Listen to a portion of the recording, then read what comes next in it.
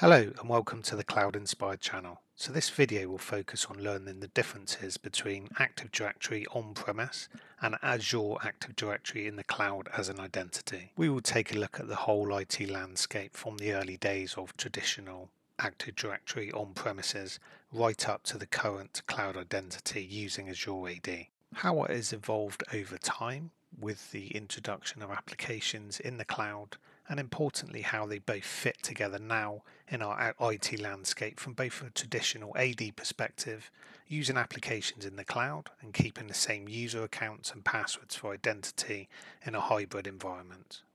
We will also cover Azure Identity Protection, which uses AD threat intelligence to determine when a user's sign-ins are risky and can block depending on risk level and policy and conditional access where we can control user access to a resource and they must complete an action such as multi-factor authentication.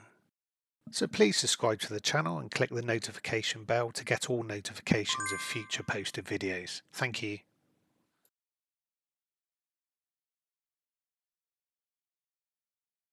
So let's talk first about traditional Active Directory. So Microsoft first introduced the world to Active Directory back in 1999 and they released it alongside Windows 2000 Server Edition as a directory service. So a directory service is a database of objects such as users, groups and computers. So physically, Active Directory would be installed on a physical server or can be a virtual machine and the AD database contains a schema and all the objects such as users, groups and computers. And we will use replication to replicate those objects over to other installed domain controllers or DCs for short for fault tolerance and redundancy. So if one DC were to go down and fail, then users can still log in and there will be no downtime. So Active Directory replication, it's a method of transferring and updating Active Directory objects from one DC to another domain controller. So this isn't just limited to a single local site, so this can span multiple sites and locations where connections between DCs are built based upon their location within a forest and a site. So each site in Active Directory contains one or more subnets which identify the range of IP addresses associated with that site. So by mapping uh, the IP address of a DC to a subnet, uh, Active Directory knows which DCs are, are, in which site and connections are configured between sites to ensure that uh, Active Directory objects are replicated between the sites. So logically, organizational units or OUs for short can be structured within AD using Active Directory users and computers to create OUs um, like a folder to form a structure, i.e. Uh, company name, department like sales, um, support, uh, administration, and then we can group um, these objects uh, into i.e. users or groups, uh, computers into each OU to form this structure. Group policy can then be applied to each OU to implement specific configurations for users and computers like configuring operating system security, adding firewall rules or managing applications like Microsoft Office or a browser. We can then communicate with a directory using LDAP, using protocols like Kerberos, NTLM, and other servers not promoted as a domain controller would join a domain. And also end user devices like PCs, laptops would join a domain also. And this would then create a computer listed in Active Directory under the computer's OU that has just joined the domain. So you would end up with this structure of computers that have joined the domain in the AD database. So each DC that contained Active Directory was normally present in an office location or data center. So we will call this on-premise. So users would come into the office each day, power up their device, PC, laptop, etc., and then log into the AD domain with their user account that was created within AD. So users log into AD with their identity and everything is trusted within AD as a local identity provider in those office or data center locations. So Active Directory Domain Services, so it uses domain name system DNS, name resolution services to make it possible for, for clients to locate uh, domain controllers and for the domain controllers that host the directory service to communicate with each other. Okay, so that covered a high level overview of Active Directory. So now let's progress a little bit into the next section and talk about the issues we now face with applications in the cloud and on-premise identity in AD.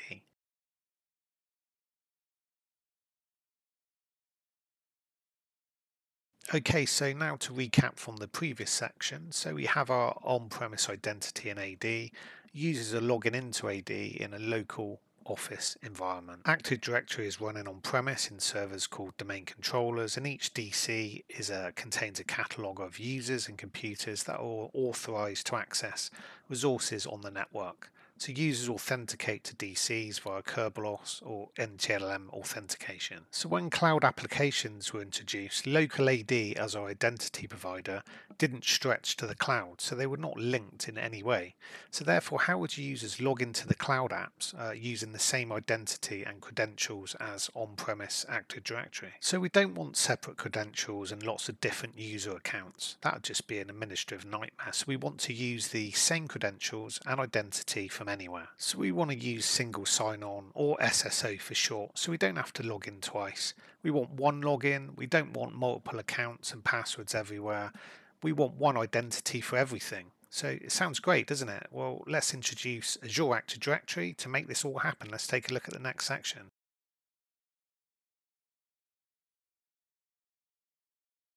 So let's introduce Azure AD to our diagram and discussions. So what is Azure AD? So it's a flat database. It's a flat structure of users and groups. So we don't have any domain controllers. We have no OUs. Okay, and it's not a structured environment similar to on-premise AD. They are completely different. Azure AD is a cloud service that provides administrators with the ability to manage end user identities and access privileges, of course, in the cloud. This is done using access tokens to identify the granted permissions.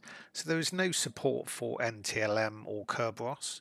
Azure AD Authentication only supports modern authentication protocols like OAuth, SAML, and OpenID Connect. There's also no support for LDAP either. So you might be thinking, how do I get my on-premise uh, identity um, in Active Directory to the cloud. So, you know, how can we form that, that single identity, one login, one identity for everything?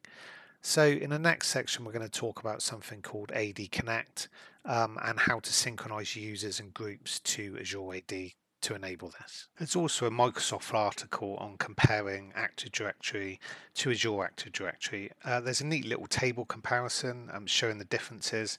Um, it's classed as a, as identity as a service. So this table it compares uh, the use of AD Connect to sync identities, uh, it talks about external identities using Azure AD B2B, um, groups to grant permissions to resources um, using RBAC role-based access control. Also covers PIM, privileged identity management, providing just-in-time access, uh, time-restricted access for account permissions, conditional access across apps, um, SAP app support using OAuth 2, SAML for authentication, and the Intune support for mobile devices.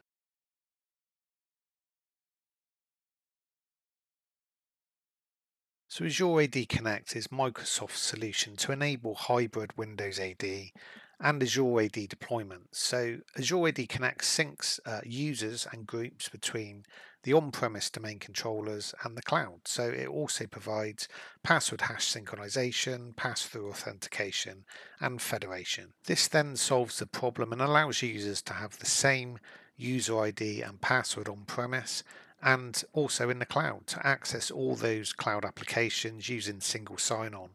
So this is great for ease of management of user accounts. So we have a single identity or account in both on-premise and the cloud, not multiple, which would be uh, an administrative nightmare. So we would install AD Connect on a server either on-premise or in the cloud to synchronize our users and groups to Azure AD. So there are videos in the channel showing step-by-step -step guides on how to do this using password hash synchronization for hybrid identity sign-in. You can use this feature to sign into Azure AD services like Microsoft 365.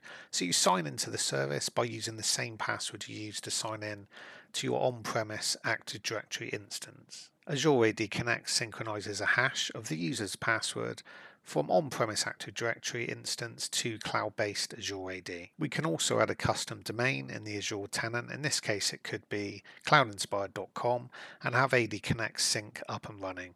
So links are in the description going through a step-by-step uh, guide installing AD Connect and a custom domain setup if you need them. So once we have our identity synced in the cloud, we can now cover cloud apps in the next section. Oh, and by the way, it's actually good to, to mention here, this is normally a one-way sync from on-premise AD to Azure AD. So it's not normally back the other way except for something called password write back. So password write back is where users change their password in the cloud and want that same password uh, on premise. So it'd be bad if they, they become out of sync. So we have in place what's called password write back, where the change in password uh, in the cloud is written back to on premise AD.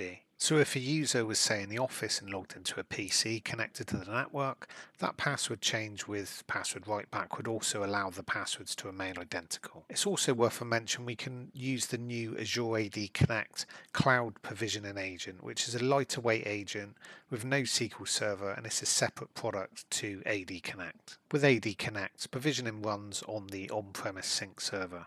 So configuration is stored on the on-premise synchronization server. With Azure AD Connect Cloud Provisioning Agent, the provisioning configuration is stored in the cloud and it runs in the cloud as part of the Azure AD provisioning service. So the Cloud Provisioning Agent provides high availability and it's crucially it can make it much easier for organizations going through mergers and acquisitions to synchronize to a single Azure AD and Office 365 tenant.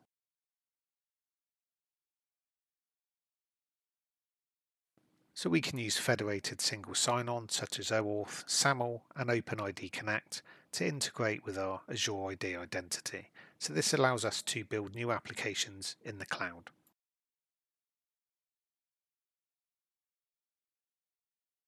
We can browse the Azure AD gallery and add applications here so we can then configure um, custom attributes like SAML and SSO for example or we can use pre-configured apps like Office 365, Outlook, Exchange Online, Teams, etc. to enable and use our new synced cloud identity to log into these applications seamlessly using single sign-on.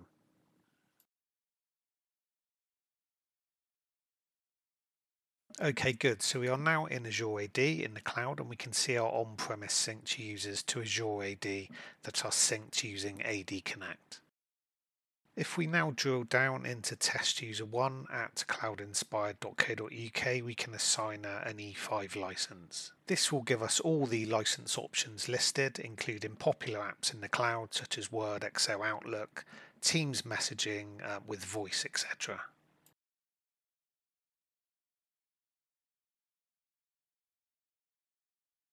So let's now go to office.com and we sign in with this identity. So if we sign in with test user one at cloudinspired.co.uk, we also have MFA conditional access also enabled. Now we can simply launch the Teams app and get full functionality within the cloud.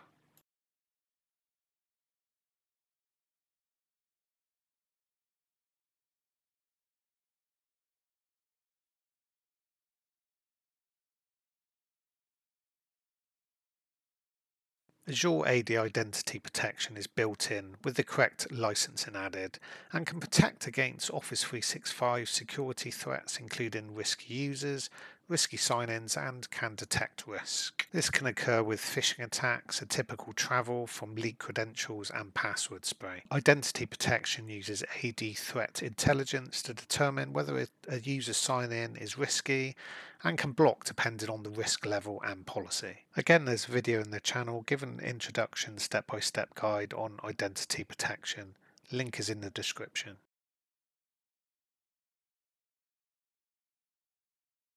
Conditional access can be used with Azure AD to create policies.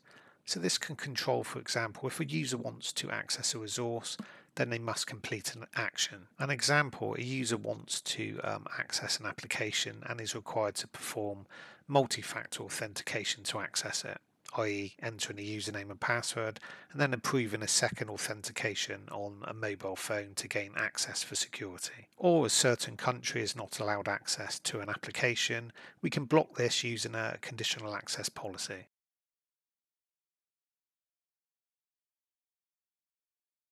So users are remote, so they can be anywhere to access cloud applications over the internet.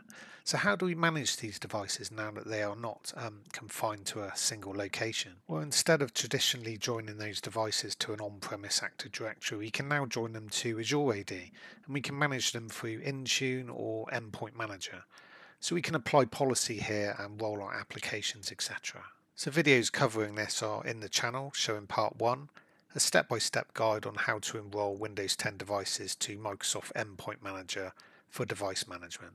We walk through the process manually and also automatically using autopilot by a hybrid joining a device so it's visible and joined to both on-premise AD and Azure AD. We show obtaining the hardware hash of the Windows 10 device and then importing this into Endpoint Manager so the device can be automatically registered and built with the assigned policy to that device. The idea being is that the registration is performed by the OEM, reseller, or distributor from which the devices were purchased, or the registration can be also done within your organization by collecting the hardware identity and uploading it manually. Also shown is the configuration of Hybrid Azure AD Join in the AD Connect to register devices from on-premise AD to Azure AD and the Intune connector which creates uh, autopiloted enrolled computers in the on-premise premise Active Directory domain. And then part two of the video goes through application delivery using Endpoint Manager. So yeah, check the videos out if you haven't already, links are in the description. Thank you very much for watching the video, please don't forget to subscribe to help grow the channel